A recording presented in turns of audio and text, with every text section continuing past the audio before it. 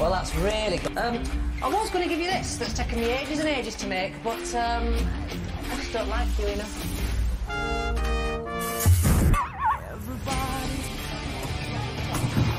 Now, Tom actually says this tickles. He doesn't mind it at all.